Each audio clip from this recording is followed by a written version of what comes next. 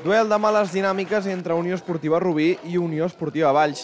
Diumenge a les 12 de migdia s'enfronten dos equips que fa 6 jornades que no guanyen. Amb dos han sumat només 3 punts dels últims 18 possibles, els del Vallès Occidental de forma consecutiva.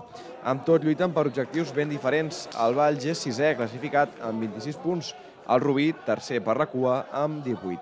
Sense mirar la classificació, els de Manel Cazorla volen els 3 punts per no despenjar-se de la part alta.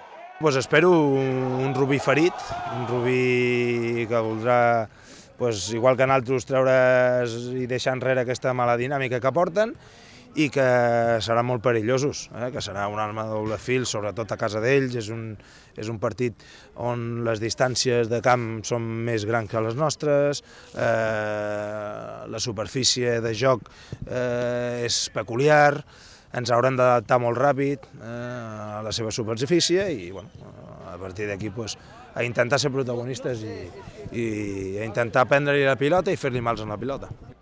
Amb els de la capital de l'Alcamp podria debutar Isham Benamar, l'últim fitxatge. El davanter ha arribat procedent del canvi de LED, també de Lliga Elite, i ja s'ha entrenat amb els seus nous companys. Eh, me considero un jugador polivalente que, sobre todo el juego de espaldas, eh, al espacio, juego aéreo y sobre todo el trabajo de equipo, ayudar en presiones.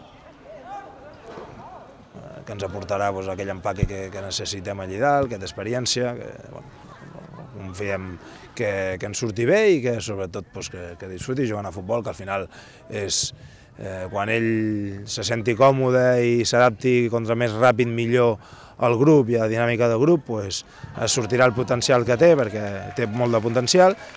Al partit de la primera volta, el Valls ja va guanyar el Rubí per un clar 3 a 1 gràcies a un hat-trick de Sergi Folk. Lesionats a banda, Manel Cazorla no podrà comptar amb Riqui Nogueira, sancionat amb 6 partits.